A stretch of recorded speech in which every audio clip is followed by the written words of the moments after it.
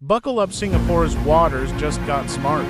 The Marsec Uncrewed Surface Vessel USV, developed by ST Engineering and the Defense Science and Technology Agency, is redefining maritime security. This 17 meter autonomous vessel is equipped with advanced AI for navigation and real time collision avoidance, interpreting international maritime rules with precision.